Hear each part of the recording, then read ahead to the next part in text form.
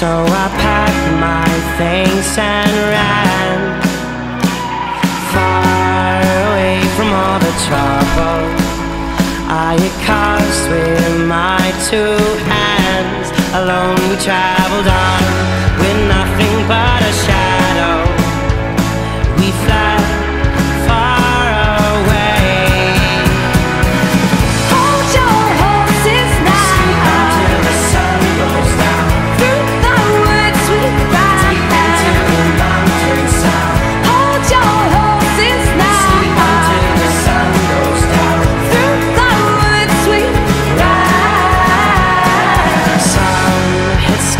some hit scratches It made me wonder about their past. And as I looked around I began to notice That we were the